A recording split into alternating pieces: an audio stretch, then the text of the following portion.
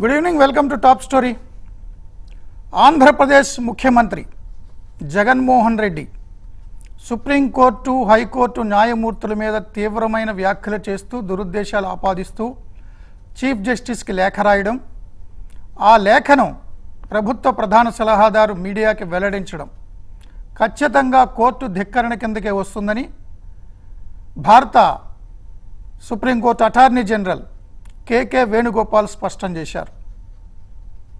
జగన్మోహన్ రెడ్డి మీద ముప్పై ఒక్క కేసులు పెండింగ్లో ఉన్న విషయం కూడా ఆయన ప్రస్తావించారు.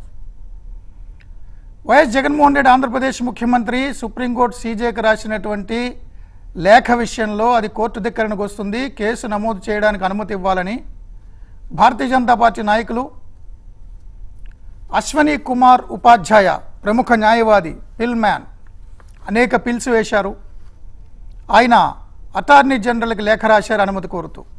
దానికి రిప్లైగా attorney general K K Venugopal ఈరోజు జగన్మోహన్ రెడ్డి లేఖ రాయడం ఆ లేఖని బహిరంగపరచడం కోర్టు ధిక్కరణ కిందే వస్తుంది. సుప్రీంకోర్టు జస్టిస్ ఎన్వి రమణ దేశంలో రాజకీయ నాయకుల మీద పెండింగ్లో ఉన్న కేసులను సత్వరం పరిష్కరించాలని ఆదేశించిన తరువాత ఈయన లేఖ రాయడం దాన్ని విడుదల చేయడం చూస్తుంటే అనుమానాలు కలుగుతున్నాయి. ముప్పై ఒక్క కేసులు ఉన్నటువంటి సీఎం ఇన్ఫ్లుయెన్స్ చేయడానికే ఈ లేఖ రాశారని అనుమానాలు ఉన్నాయి. ఇది ఖచ్చితంగా సిజేఐ దృష్టిలో ఉంది. ప్రత్యేకించి నేను అనుమతి ఇవ్వాల్సిన పని లేదు అంటూ ఆయన రిప్లై ఇచ్చారు. ఇదే అంశానికి ఈరోజు టాప్ స్టోరీ. టాప్ స్టోరీలో పాల్గొనడానికి మాజీ న్యాయమూర్తి హైకోర్టు ప్రముఖ న్యాయవాది శ్రవణ్ గారు ఉన్నారు. అదేవిధంగా Telugu Desam party national spokesperson MLC Deepak Reddy గారు ఉన్నారు నమస్కారం ఇద్దరికి. ముందుగా శ్రవణ్ గారు. సో సుప్రీంకోర్టు న్యాయమూర్తి హైకోర్టు ప్రధాన న్యాయమూర్తి సహా అనేక మంది న్యాయమూర్తుల మీద దురుద్దేశాలు ఆపాదిస్తూ రాసిన లేఖ కోర్టు ధిక్కరణ కిందగా వస్తుంది.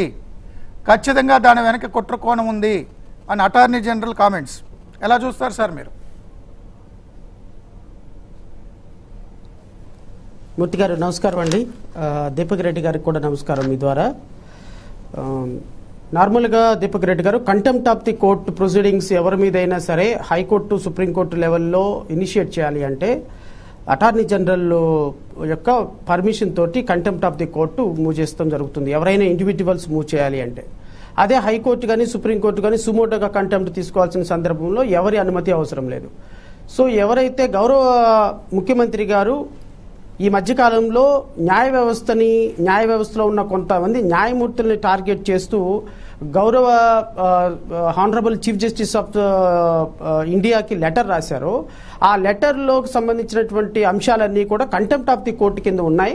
సో కాబట్టి ఈ contempt of the court initiate చేయడానికి యాజ్ అన్ ఇండివిజువల్గా అంటే ఎవరైతే ఉపాధ్యాయ గారు ఉన్నారో ఆయన ఇండివిజువల్ కాబట్టి ఇండివిజువల్గా ఆ contempt of the court initiate చేయడానికి అటార్నీ జనరల్ యొక్క అనుమతి అవసరం కాబట్టి ఆయనకి ఒక లెటర్ రాయటం జరిగింది. అటార్నీ జనరల్ గారు ఈరోజు ఎవరైతే ఉపాధ్యాయ లెటర్ రాశారో ఆ లెటర్కి రిప్లై ఇచ్చారు. ఈ లెటర్ రిప్లై సారాంశం ఏందనేది మీరు చెప్పారు ఇప్పుడు. ఎందుకంటే ముట్టి గారు నేను కొంత ఎలాబరేట్గా ప్రేక్షకులకు అర్థం కోసం కొంత హిస్టరీ అనేది చెప్తున్నాను అనమాట సో ఇప్పుడు ఈ లెటర్లో రాసినటువంటి అంశాల ప్రకారం అటార్నీ జనరల్ గారు ఏమంటారంటే ఎవరైతే గౌరవ మా- ముఖ్యమంత్రి గారు లెటర్ రాశారో ఆ లెటర్లోని అంశాలు ఖచ్చితంగా కంటెంప్ట్ ఆఫ్ కోర్టు కింద అవుతాయి. ఈ కంటెంప్ట్ ఆఫ్ ది కోర్టు కింద రాసినటువంటి లెటర్ ఎవరైతే న్యాయమూర్తుల మీద అపార్థాలు చేస్తూ రాసిన letter honourable chief justice of India పరిధిలో పరిధిలో ఉంది కాబట్టి ఆయన డొమైన్లో ఉంది కాబట్టి ఈ సందర్భంలో నేను దానికి అనుమతి ఇవ్వడానికి ఏ విధమైనటువంటి ఆక్షేప ఏ విధమైనటువంటి అవకాశం లేదు. బట్ ముప్పై ఒక్క కేసుల్లో క్రిమినల్గా దోషిగా ఉన్నటువంటి ఒక వ్యక్తి రాసినటువంటి లెటర్ ఖచ్చితంగా ఇది కంటెంప్ట్ అట్రాక్ట్ అవుతుంది అనేటువంటి ఒక క్లియర్ కట్ ఒపీనియన్ ఇవ్వడం జరిగింది. దీంట్లో మనం మూడు కీలకమైన అంశాలు మూర్తి గారు మనం ఈరోజు ఈ లెటర్ ద్వారా అర్థం చేసుకోవాలి. ఒకటి ఏంటి అంటే లీగల్గా ఒక వ్యక్తి న్యాయ వ్యవస్థ మీద కానీ లేకపోతే వ్యవస్థల మీద కానీ శాసన వ్యవస్థ కానీ లేకపోతే కార్యనిర్వాహక వ్యవస్థ మీద కానీ న్యాయ వ్యవస్థ మీద కానీ తనకున్నటువంటి ఇబ్బందికరమైన పరిస్థితుల్ని కంప్లైంట్ చేయడంలో తప్పులేదు బికాస్ కాన్స్టిట్యూషనల్గా ఆ, రైట్ ఒక వ్యక్తికి ఉంది. ప్రతి వ్యక్తికి ఉంది. సామాన్యమైన ప్రతి వ్యక్తికి ఉంది. ఆ విధంగానే honourable chief minister of the AP కూడా లెటర్ రాసే అవకాశం ఉంది. ఆయన లెటర్ రాయడం తప్ప నేను అనటం లేదు.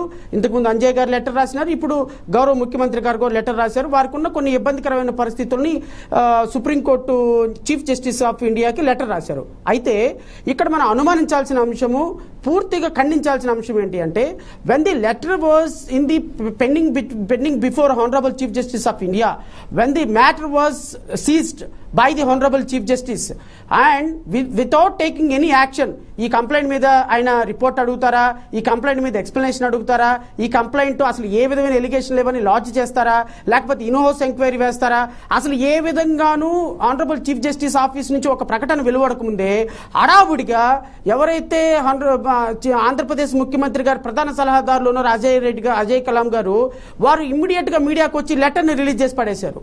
లెటర్ రిలీజ్ చేసి honourable chief justice of AP high court honourable sitting judges వీళ్ళందరూ కూడా honourable sitting judge of supreme court judges అనుమతి వారికి వారి యొక్క ఇన్ఫ్లుయెన్స్ తోటి జడ్జిమెంట్లు చెప్తున్నారు. ప్రభుత్వానికి వ్యతిరేకంగా జడ్జిమెంట్లు చెప్తున్నారు. వీళ్ళు ఒక తీవ్రవాదులు. వీళ్ళు అట్లా వీళ్ళు ఎట్లా అని ఒక లెటర్ రిలీజ్ చేసి మీడియాకి ఇచ్చేశారు. ఇక్కడ ఏంటవుతుంది అంటే ఈ ఈ లెటర్ మీద ఏ విధమైన డెసిషన్ రాకుండా సుప్రీంకోర్టులో chief justice of honourable supreme court pending ఉన్నప్పుడు how a state government is entitle to release the letter to the media అంటే what what is the intention of the honourable chief minister and the government అంటే supreme court chief justice ఏ నిర్ణయం తీసుకుంటారో మాకు అనవసరం. Supreme court chief justice దీని మీద enquiry వేస్తారా? దీన్ని లాడ్జ్ చేస్తారా? ఏం చేస్తారో అది అనవసరం. We want to put the document into the public domain so people of the state should discuss న్యాయ వ్యవస్థకి న్యాయమూర్తులకి న్యాయ వ్యవస్థకి ముఖ్యమంత్రి గారికి గొడవలు జరుగుతున్నాయి. కాబట్టి మన ముఖ్యమంత్రి గారు న్యాయ వ్యవస్థనే టార్గెట్ చేసిన గొప్ప గొప్ప సచ్చీళ్ళు అని ఒక డిస్కషన్ జరగటం కోసం విత్ అ బ్యాడ్ ఇంటెన్షన్ ఈ లెటర్ మీడియాకి రిలీజ్ చేశారు. సుప్రీంకోర్టు చీఫ్ జస్టిస్ అనుమతి లేకుండా ఆయన దగ్గర పెండింగ్ ఉండగా ఆయన ఏ నిర్ణయం తీసుకోకుండా మీరు ఎలాగ మీడియాకి రిలీజ్ చేస్తారండి? Is it not amount to contempt ఇది అటార్నీ జనరల్ కాదు మూర్తి గారు. సామాన్యమైనటువంటి వ్యక్తి కూడా సామాన్యమైనటువంటి వ్యక్తి ఒక జూనియర్గా అడ్వకేట్ కూడా తెలుసు ఈ విషయం. సో ఎవరైతే హానరబుల్ ముఖ్యమంత్రి గారు ఏదైతే లెటర్ రాశారో దాన్ని నేను తప్పుపట్టను. కానీ దాన్ని ఇంటెన్షనల్గా మీడియాకి రిలీజ్ చేయటం ఇంటెన్షనల్గా ప్రజలందరికీ ఒక సిగ్నల్ ఇవ్వటం న్యాయమూర్తుల్ని న్యాయ వ్యవస్థని రోడ్డును పడేయటం న్యాయమూర్తులందరూ లంచగొండులు న్యాయమూర్తులందరూ ఇంకో న్యాయమూర్తి చెప్తే జడ్జిమెంట్లు ఇస్తున్నారు న్యాయమూర్తులందరూ ప్రతిపక్షానికి తొత్తులు అనేటువంటి ఒక కలరింగ్ ఇచ్చేటువంటి డిస్కషన్ పెట్టడం అబ్సల్యూట్లీ కంటెంప్ట్ కింద వస్తుంది. ఇది వ్యవస్థలకు మంచిది కాదు న్యాయవాదులకు మంచిది కాదు న్యాయస్థానాలకు మంచిది కాదు అల్టిమేట్గా రేపు ముఖ్యమంత్రి గారి ప్రభుత్వానికి కూడా మంచిది కాదు అన్న విషయం గుర్తుపెట్టుకోవటంలా. ఆకాశం మీద ఉమ్మేస్తే ఏమవుద్దండి? ఆకాశం మీద ఉమ్మేస్తే ఏమవుద్ది?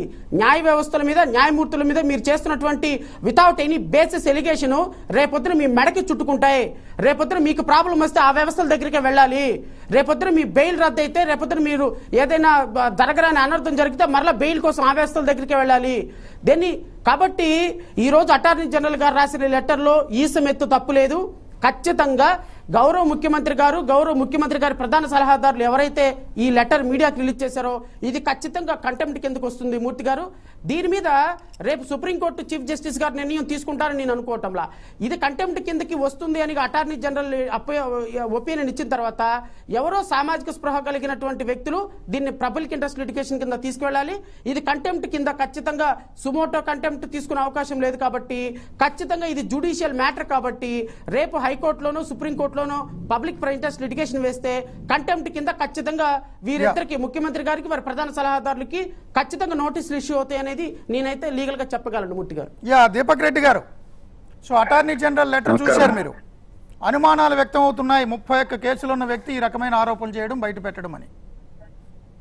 What is your take sir Murthy గారు దానికి వచ్చే ముందు నేను కొంచెం ఒక డిఫరెంట్ యాంగిల్లో ప్లీజ్ ప్రజలకు అర్థమయ్యే విధంగా ఒక వేరే ఆస్పెక్ట్ చెప్పాలనుకుంటున్నానండి.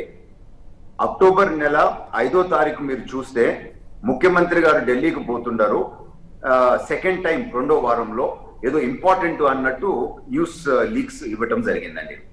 సో రెండు సార్లు పోతున్నారు చాలా ఇంపార్టెంట్ ఇష్యూ అన్నట్టు. ఆరో తారీఖు మోడీ గారిని కలిసిన తర్వాత క్యాబినెట్లో జాయిన్ అయిపోతున్నారు.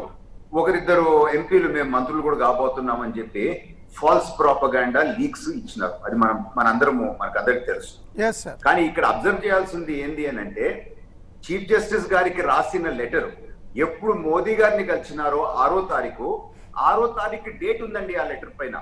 కానీ ప్రెస్ మీట్ ఎప్పుడు పెట్టినారు? పదో తారీఖు పెట్టినారు.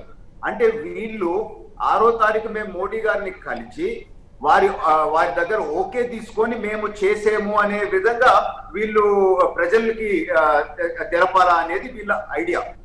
సో ఇది బయటకు వచ్చింది. నేషనల్ మీడియా అయితే ఇది ఒక పెద్ద షాక్ రకంగా తీసుకున్నారు.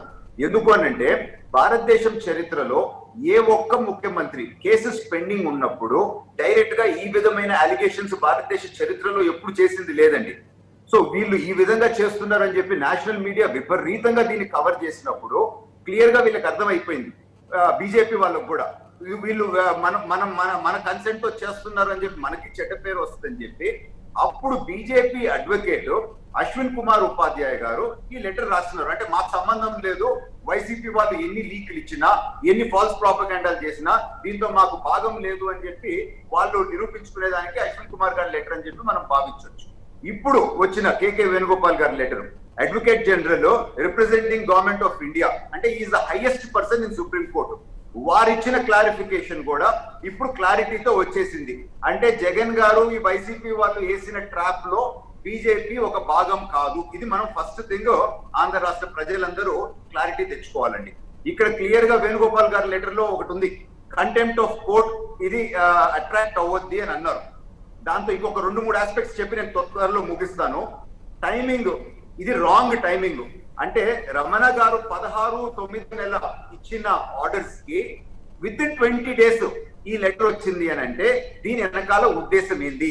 దీని వెనకాల టైమింగ్ అంటే వీళ్ళు కావాలని చేసినట్టు ఉంది అనే అభిప్రాయము వారు వారు వారు- వారు చెప్పినారు. చీఫ్ జస్టిస్ గారి నాలెడ్జ్లో ఈ కేసు గురించి మొత్తం డీటెయిల్స్ ఉన్నాయని చెప్పి కూడా లెటర్లో చెప్పడం జరిగింది. అంటే వారు ఇండైరెక్ట్గా చెప్పినారు ఈ అడ్మినిస్ట్రేటివ్ ప్రాసెస్లో నేను పర్మిషన్ ఇవ్వాల్సిన అవసరం లేదు కానీ జుడిషియల్ ప్రాసెస్లో మీరు ఇప్పుడు కేసుగా ముందుకి పోవచ్చు అనే విధంగా వారు హింట్ ఇచ్చినారు. అంటే ముప్పై ఒక్క కేసులు ఉండే వాళ్ళు కూడా ఈ విధంగా రాయటం తప్పు అని కూడా అక్కడ హైలైట్ చేశారు. అంటే ఇది ఒక clear signal from BJP saying that వీళ్ళు తప్పు చేశారు. ఆంధ్ర రాష్ట్రంలో మన భారతదేశంలో ఉండే వాళ్ళు ఎవరన్నా కానీ తప్పు అని భావించిన వాళ్ళు ఇప్పుడు లీగల్ ప్రాసెస్లో public interest litigation proper suit వేసి ఇప్పుడు దీని మీద మీరు ప్రొసీడ్ కావచ్చు అని చెప్పి ఇది ఒక ఇది ఒక హింట్ ఇచ్చినట్టు అని చెప్పి నేను భావిస్తున్నానండి. ఎస్ సార్ చిన్న బ్రేక్ తీసుకుందాం అండి. బ్రేక్ తర్వాత డిస్కషన్ కంటిన్యూ చేద్దాం. వెల్కమ్ బ్యాక్ శ్రవణ్ గారు ఎమ్మెల్సీ గారు చెప్తున్న దాన్ని బట్టి ఆ తేదీలు రాయడం అవి కూడా డిఫరెంట్ ఆస్పెక్ట్ కోణం చెప్తున్నారని కుట్ర కోణం యాంగిల్లో ఒక రకమైన కలర్ ఇవ్వడానికి ప్రయత్నాలు చేశారండి. ఒకటి. రెండు మీరు ప్రస్తావించినట్టుగా పిల్లు ఎవరైనా వేయాలి ఖచ్చితంగా అది కంటెంప్ట్ అవుతుందని. ఆల్రెడీ అశ్విని కుమార్ ఉపాధ్యాయ ఆయన పిల్స్ వేయడంలో స్పెషలిస్టు ఈ దేశవ్యాప్తంగా రాజకీయ నాయకులు ప్రజాప్రతినిధులు మాజీ ప్రజాప్రతినిధుల మీద ఈ కేసులన్నీ పెండింగ్లో ఉన్నాయి. క్లియర్ చేయాలని పిల్లేసింది ఆయనే. ఆయన కేసు నేపథ్యంలోనే జస్టిస్ ఎన్వి రమణ గారి బెంచ్ సుప్రీంకోర్టు వేగంగా పూర్తి చేయాలని ఆదేశాలు ఇచ్చింది. ఆ వేగంగా పూర్తి చేస్తారు అనే ఉద్దేశంతో ఎన్వి రమణ గారి మీద ఇలాంటి ఆరోపణలు చేశారనేది కేకే వేణుగోపాల్ గారు చెప్పిన అటార్నీ జనరల్ చెప్పిన అశ్విని కుమార్ ఉపాధ్యాయ చెప్పిన అదే. సో అశ్విని కుమార్ ఉపాధ్యాయ దీని మీద ముందుకెళ్తున్నారని వార్తలు. రెండు అంశాల మీద మీ ఒపీనియన్ ఏంటి? మూర్తి గారు మూర్తి గారు I'm very sorry to say ఇప్పుడు మొన్న ఎవరైతే honourable justice sitting judge N V Ramana గారు కొత్తగా ఈ జడ్జిమెంటు ప్రజాప్రతినిధుల మీద ఉన్న కేసెస్ని as expeditiously as possible dispose చేయమని ఇవ్వలేదు మూర్తి గారు.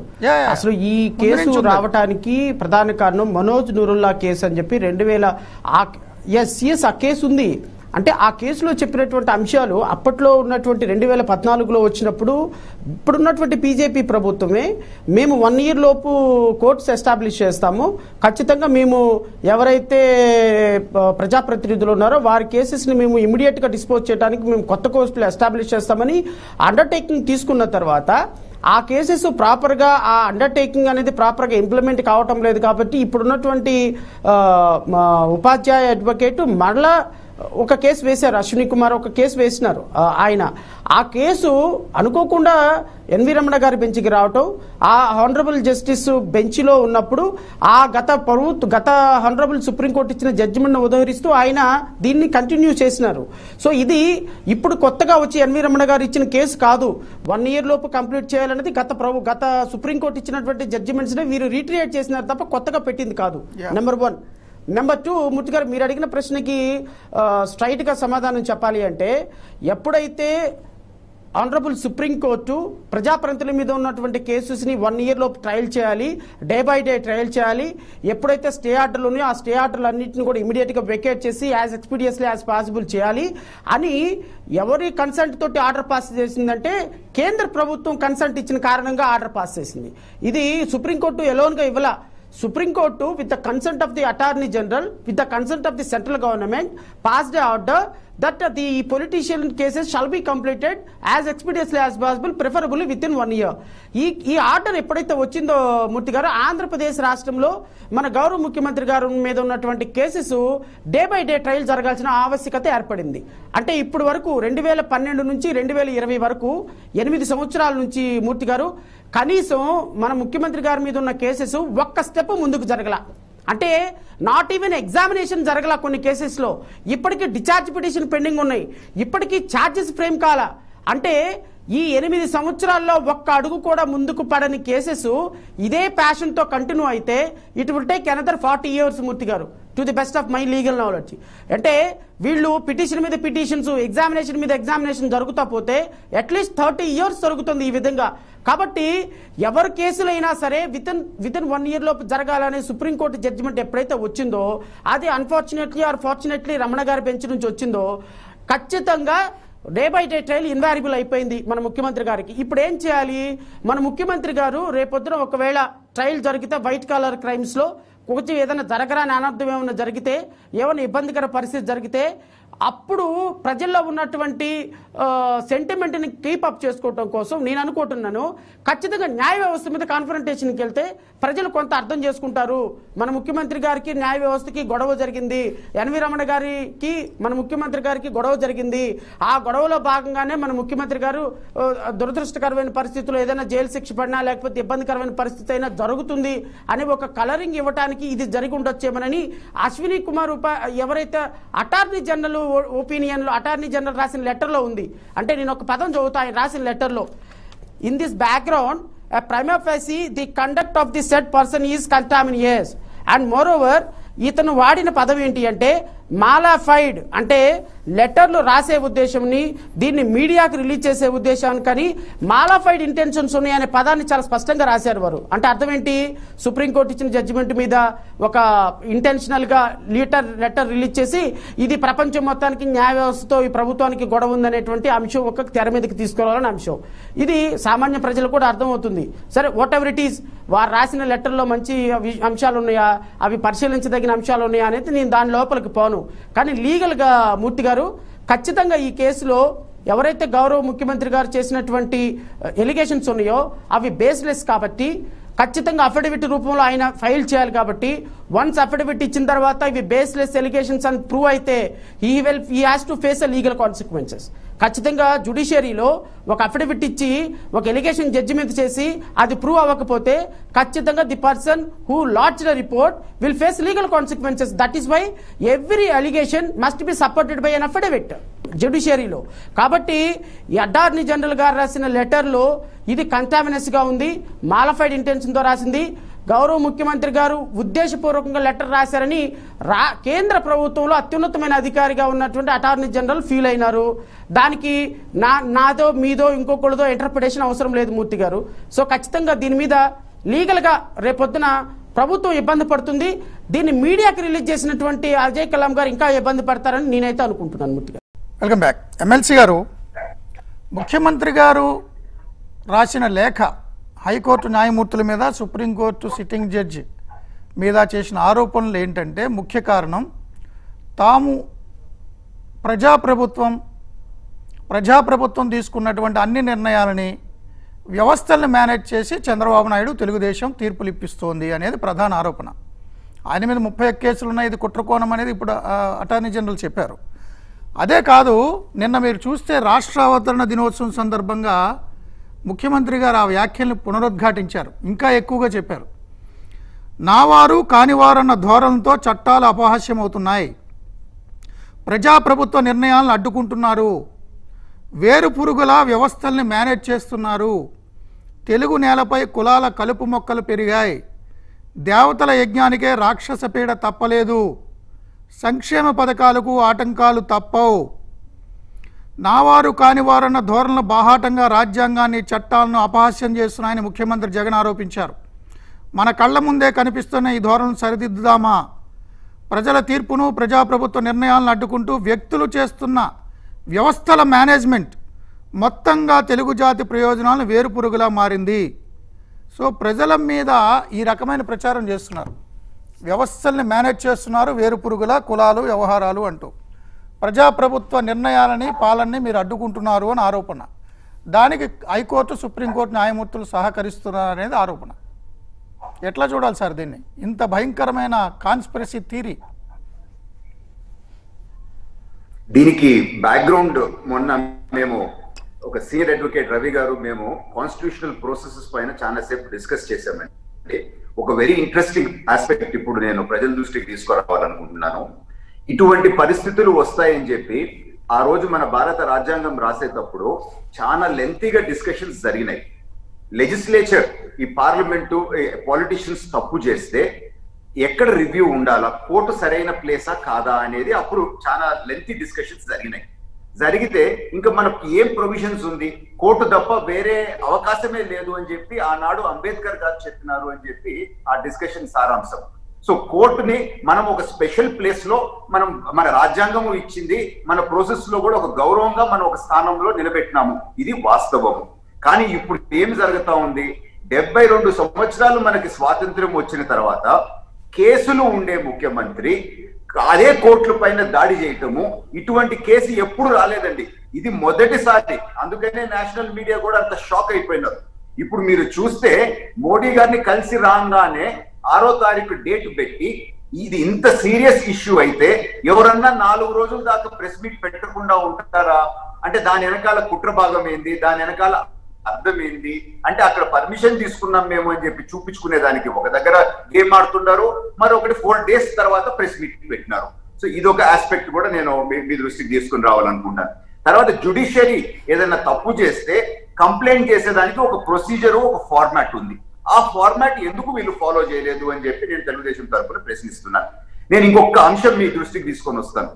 తెలుగుదేశం పార్టీ నాయకుల్ని అరెస్ట్ చేసినారు. జేసీ ప్రభాకర్ రెడ్డి గారిని అచ్చెన్నాయుడు గారిని. జేసీ ప్రభాకర్ రెడ్డి గారి మీద పెట్టిన కేసులు ఆ సెక్షన్స్ మీరు తీసుకొని చూస్తే కొన్ని వేలాది కేసులు అట్లా అదే సెక్షన్స్తో హైదరాబాద్ రంగారెడ్డి కోర్టులు ఫైల్ అవుతా ఉంటాయి ఏ ఒక్క కేసులో కూడా వారం రోజుల పైన తీసుకోలేదు బెయిల్ ఇచ్చేదానికి. అదే అచ్చెన్నాయుడు గారి మీద పెట్టిన సెక్షన్స్లో మీరు చూస్తే అన్ని రోజులు బెయిల్ రాని కేసులు లేవండి. కానీ వీళ్ళ మీద ఇంత అన్యాయం జరిగిందని మేము తెలుగుదేశం భావించినా గానీ బయటపడి ఏనాడు మేము కోర్టులని దూషించలేదు. ఎందుకు అని అంటే అటువంటి గౌరవం మనము మన వ్యవస్థలో కోర్ట్ సిస్టమ్స్ ఇస్తా ఉండము.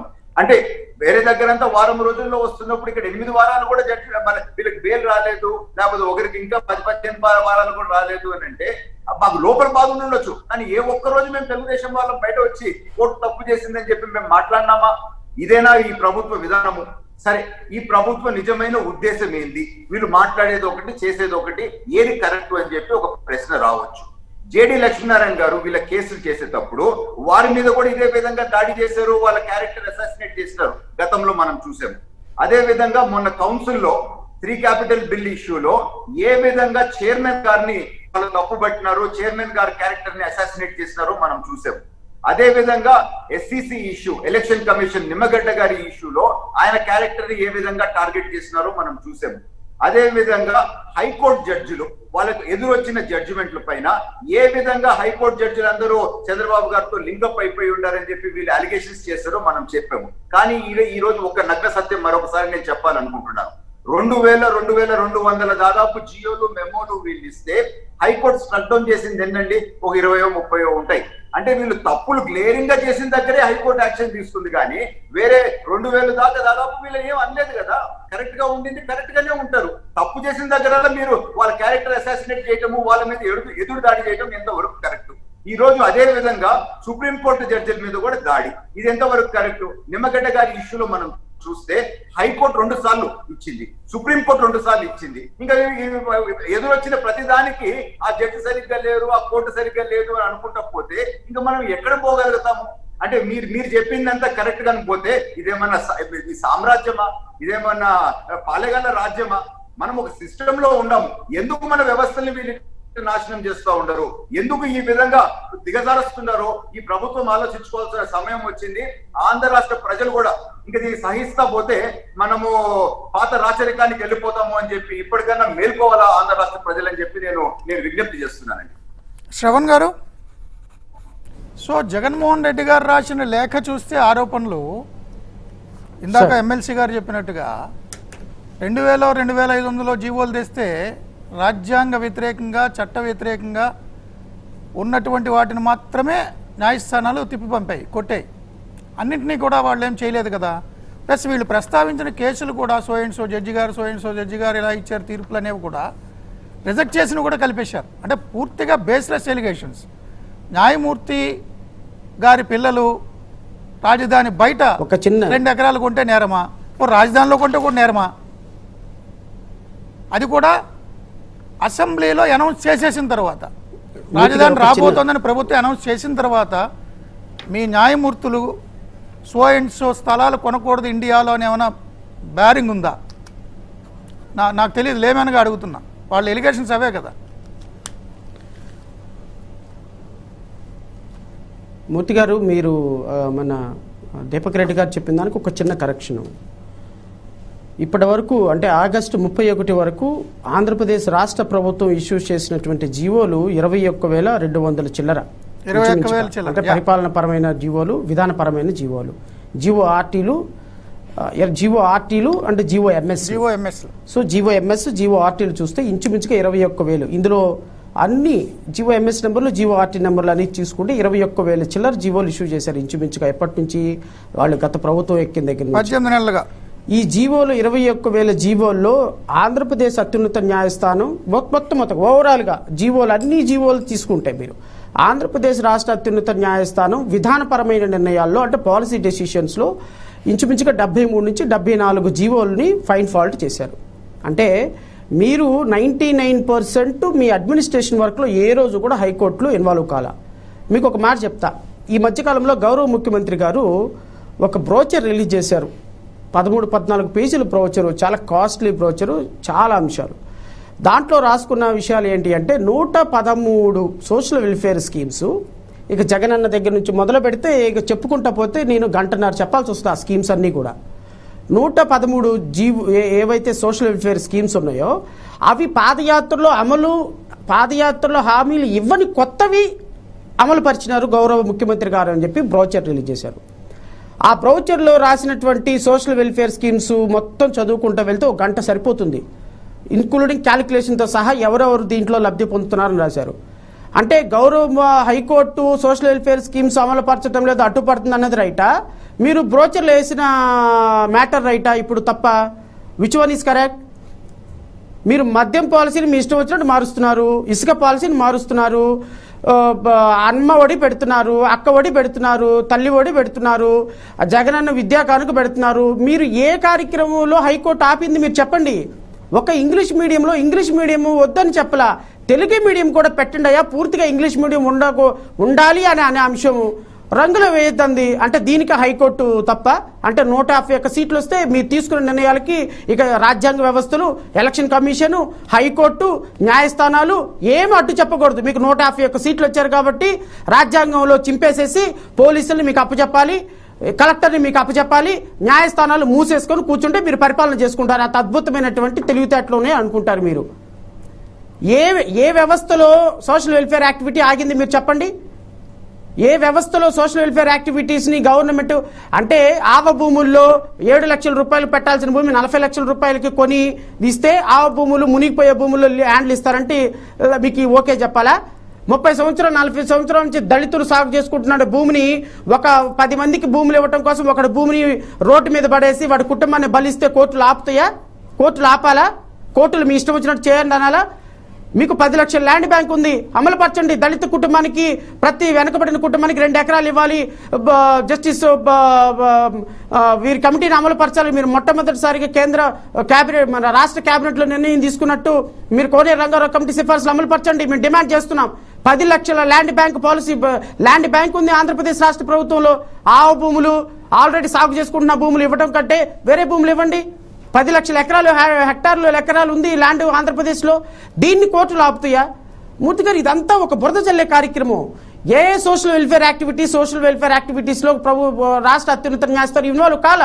కొన్ని వందల కేసులు ప్రభుత్వానికి అనుగుణంగా హైకోర్టులో ఫేవర్గా వస్తున్నాయి. వాటిని మీరు ఎందుకు ఉదహరించటం లేదు? అవి మీకు కనపడటం లేదా? కాబట్టి సోషల్ వెల్ఫేర్ స్కీమ్స్ ఆగనప్పుడు మీకు ఒక్కటి ఉదాహరణ చెప్తా మూర్తి గారు. మన అచ్చెన్నాయుడు గారు ఎన్ని రోజులకు బెయిల్ వచ్చిందండి? మూడు నెలలకు బెయిల్ వచ్చిందా? మూడు నెలలకు కూడా ఏ ఒక్క ఎవిడెన్స్ లేదు. మూడు నెలలకి నా అచ్చెన్నాయుడికే కాదు. శ్రవణ్ కుమార్ కూడా బెయిల్ వస్తుంది. ఇన్వెస్టిగేషన్ కంప్లీట్ చేసి ఛార్జ్ షీట్ వేయకపోతే ఎవరికైనా బెయిల్ వస్తుంది మూడు నెలలకి. మరి మిగతా వాళ్ళు మచిలీపట్నంలో ఒక మాజీ మినిస్టర్ గారిని పెట్టినప్పుడు వారికి ఎన్ని రోజుల్లో బెయిల్ వచ్చింది? ఎవరైతే అనంతపురంలో బయటకు వచ్చి రాగానే ఎస్ఐని కారు ఎక్కుతుంటే ఎస్సీ ఎస్టీ యాక్ట్ పెట్టి తిట్టారని పది నిమిషాలు అరెస్ట్ చేసినారు. ఎస్సీ ఎస్టీ యాక్ట్ పెట్టి మూడు సంవత్సరాలు నాలుగు సంవత్సరాలు ఎఫ్ఐఆర్లు పెడితే కొన్ని వేల ఎఫ్ఐఆర్లు ఎస్సీ ఎస్టీ యాక్ట్లో ఒక్క అరెస్ట్ జరగటం లేదు. రోడ్ల మీద పడేసి కొడితే ఎస్సీ ఎస్టీలని వాళ్ళ ప్రాణాలు తీస్తే వందల వేల కంప్లైంట్లు పెండింగ్ ఉంటే మీరు సంవత్సరాల నుంచి అరెస్ట్ చేయటంలా. కానీ రాజకీయంగా వచ్చేసరికి మాత్రం ఐదు నిమిషాల్లో ఎఫ్ఐఆర్ రిజిస్టర్ అవుతుంది. పది నిమిషాల్లో. ఇరవై నిమిషాల్లో రిమాండ్. పంపించేస్తారు. ఎక్కడ ఎక్కడ? పాలనలో ఎస్సీల మీద ఎస్సీ ఎస్టీ కేసులు కూడా చూసాం. మూర్తి గారు రైతుల మీద ఎస్సీ ఎస్టీ యాక్టు. చరిత్రలో ఎక్కడైనా ఉందా? చరిత్రలో ఏ గవర్నమెంట్ అయినా ఎస్సీల రక్షణ కోసం వచ్చిన ఎస్సీ ఎస్టీల మీద ఎస్సీ ఎస్టీ యాక్ట్ పెట్టిన ఘన చరిత్ర కలిగిన ప్రభుత్వం మా ప్రభుత్వం మా ఆంధ్రప్రదేశ్ ప్రభుత్వం. దీన్ని ఏ విధంగా మీరు సమర్థించుకుంటారు? మూర్తి గారు కోర్టుల్ని నేను జగన్మోహన్ రెడ్డి గారు మ్యాజిస్ట్రేట్ కోర్టులో పట్టట్లేదు కదా? మ్యాజిస్ట్రేట్కి దురుద్దేశాలు ఆపాదించలేదు కదా? ఎస్సీల. కేసు ఏంటి అని వాళ్ళు రిమాండ్ రిజెక్ట్ చేయలే. రిమాండ్ వీళ్ళు అయినా కోర్టులు మీరు ఏం తిట్లా మూర్తి గారు ఒకవేళ అలాగ రిజెక్ట్ చేస్తే మళ్ళీ ఒకవేళ రిజెక్ట్ చేస్తే ఆయనకి చీఫ్ జస్టిస్ గారు చెప్పారు అనేటువంటి అపార్థాలు కూడా ఆపాదించేస్తారు వీళ్ళు. సో కాదేది కవిత కనర్హం అని ఏమో ఇలాంటి సందర్భంలో రేపు మెజిస్ట్రేట్లు కూడా మేము మేము రిమాండ్ రిటర్న్ చేస్తే మాకెవరో చీఫ్ జస్టిస్ గారు చెప్పారు అంటారేమోనని భయపడి రిమాండ్ చేసే అవకాశాలు ఉంటాయి ఎందుకంటే సామాన్యమైన. పనిచేసేటప్పుడు చాలా కదా. ఇంకేముంది? మెయిన్ అదే భయంకరమైనటువంటి చర్య. కోర్టుల్ని మూర్తి ఇన్ఫ్లుయెన్స్ చేయకూడదు చేస్తున్నట్టే మరి. మూర్తి గారు I'm very sorry to say Murthy గారు I'm very sorry to say నేను ఒక నిమిషం మాట్లాడి ముగిస్తాను. మూర్తి గారు నిజంగా మనం చర్చ చేసినంత ఈజీ కాదు మూర్తి గారు. ఈ రాష్ట్రంలో ఐదు కోట్ల మంది ప్రజలు న్యాయస్థానాలకి మాకు అన్యాయం జరిగితే పోలీసులతో ఇబ్బంది జరిగితే న్యాయస్థానాలకు వెళ్ళాలి అనుకుంటారు. న్యాయస్థానాలు తీర్పులు ఇచ్చినప్పుడు అమలుపరచాల్సిన బాధ్యత ప్రభుత్వందే. న్యాయమూర్తులు వెళ్ళి వాళ్ళని అమలుపరచరు. ఎంఆర్ఓల్ని మీరు ల్యాండ్లు తీసుకోవద్దని చెప్పరు. మీకు ప్రభుత్వంగా భయం లేకపోతే న్యాయస్థానాలు ఇచ్చే తీర్పుల మీద నమ్మకం లేకపోతే రేపు న్యాయస్థానాలు తీర్పులు అమలుపరచకపోతే ప్రజలు ఏ విధంగా నమ్మకంతో ఉంటారు? కోర్టు ఇచ్చిన ఆర్డర్లను చించి మీరు ఫాలో మీరు ఫాలో అవ్వకుండా ముందుకెళ్తుంటే ప్రజలు ఎక్కడికి వెళ్ళాలంటే అరాచకం రాజ్యమేలదా? రేపొద్దున రౌడీల్ని గోండాల్ని ఆశ్రయించరా? రేపు మీరు మీరు అనుకుంటున్నారు ఈరోజు ఇమ్మెచ్యూర్డ్గా చేస్తున్నటువంటి వ్యవస్థ మీద అటాక్ రేపు తీవ్రమైన పరిణామాలకు దారితీస్తుంది మూర్తి గారు.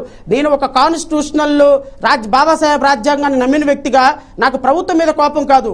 రాజ్యాంగాన్ని అపహాస్యం చేసి రాజ్యాంగంలో ఉన్న వ్యవస్థను అపహాస్యం చేస్తే రేపు సామాన్యుడి పరిస్థితి ఏంటి అనేది ఒక్కసారి మనసు పెట్టి ఆలోచిస్తే మీ ప్రజాప్రతినిధులకి గౌరవ ముఖ్యమంత్రి గారికి అర్థమవుతుంది.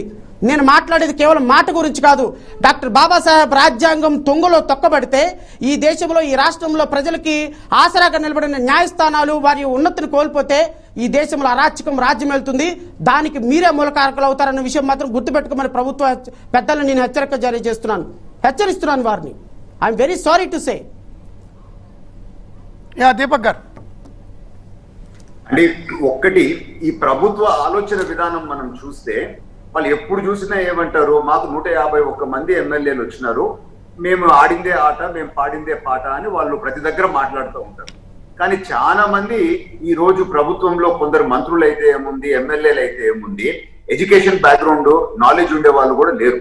ఎట్లా డెమోక్రసీ ఫంక్షన్ అవుద్ది? ఏ విధంగా మన సిస్టమ్స్ ఉన్నాయి అని చెప్పి కనీస అవగాహన కూడా లేని వాళ్ళు ఈ రోజు ఈ ప్రభుత్వంలో ఉండరు. జగన్మోహన్ రెడ్డి గారి అదృష్టం వల్ల జోబిల్ కొట్టే వాళ్ళు లేకపోతే గ్యాంబ్లింగ్ డెన్స్ రన్ చేసే వాళ్ళు కూడా ఈ రోజు మంచి పొజిషన్లోకి వచ్చేసినారు. కానీ వాళ్ళకి ఏ పొజిషన్లో ఉన్నాము వాళ్ళ మీద ఏ బాధ్యత ఏం కర్తవ్యం ఉందో అని చెప్పి అర్థం కాని పరిస్థితిలో ఇప్పుడు ఉండరు.